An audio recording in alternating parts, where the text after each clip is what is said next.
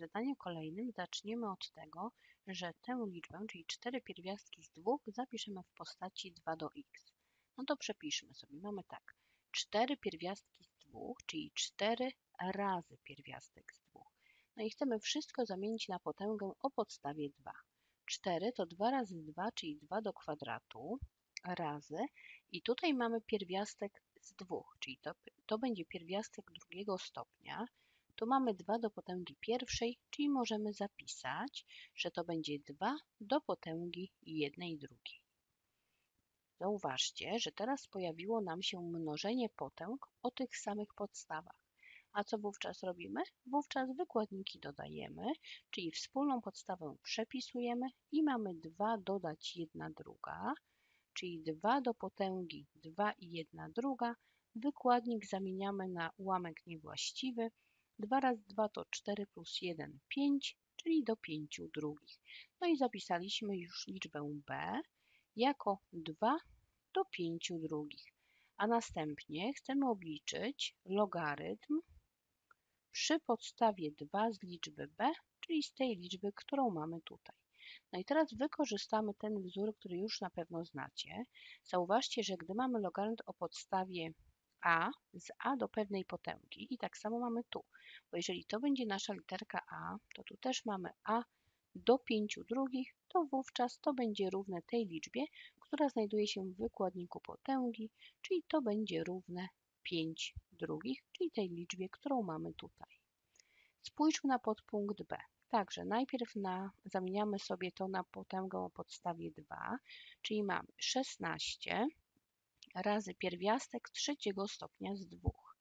No to 16 to 2 razy 2 razy 2 i razy 2, czyli 2 do czwartej, razy. Tu mamy dwójkę do potęgi pierwszej, czyli zapiszemy to jako 2 do 1 trzeciej. Mamy mnożenie potęg o tych samych podstawach, czyli wspólną podstawę przepiszemy, a wykładniki dodamy, czyli mamy 4 plus 1 trzecia, czyli 2 do 4, do 4 całych 1 trzeciej, czyli 2 do potęgi 4 razy 3 12 plus 1 13 trzecich, czyli możemy zapisać, że b to 2 do 13 trzecich. No i teraz obliczamy taki logarytm, czyli logarytm przy podstawie 2 z 2 do 13 trzecich.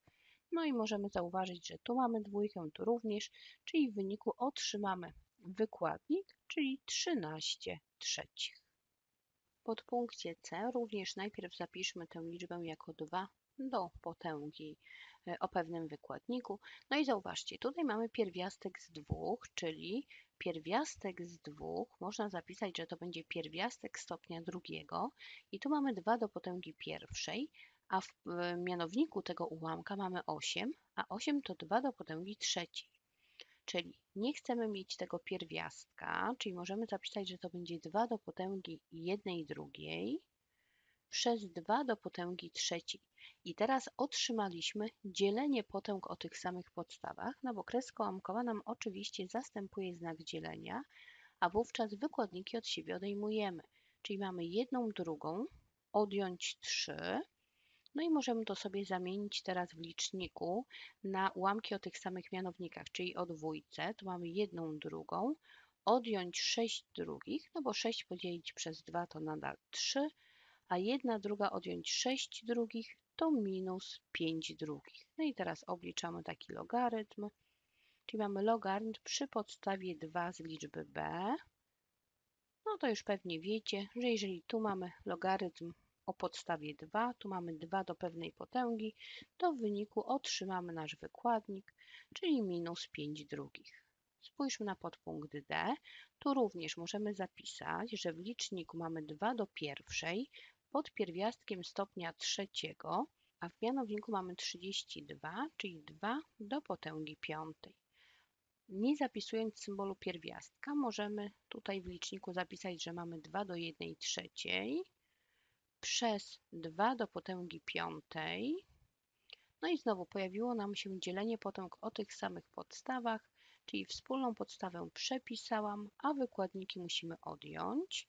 No i przydałby nam się wspólny mianownik, czyli piątkę zapiszę jako 15 trzecich, ponieważ 15 podzielić przez 3 to będzie 5, czyli otrzymamy 2 do potęgi 1 odjąć 15 to minus 14, czyli minus 14 trzecich. No i teraz obliczmy logarytm jeszcze, czyli logarytm przy podstawie 2 z 2 do minus 14 trzecich. Tu mamy dwójkę, tu również, czyli otrzymamy wykładnik, oczywiście z tym minusem łącznie, czyli minus 14 trzecich.